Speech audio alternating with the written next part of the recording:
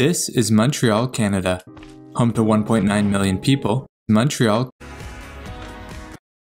This is Montreal, Canada. Home to 1.9 million people, the city is connected by a network of metro lines, which service 68 stations and 3 local municipalities.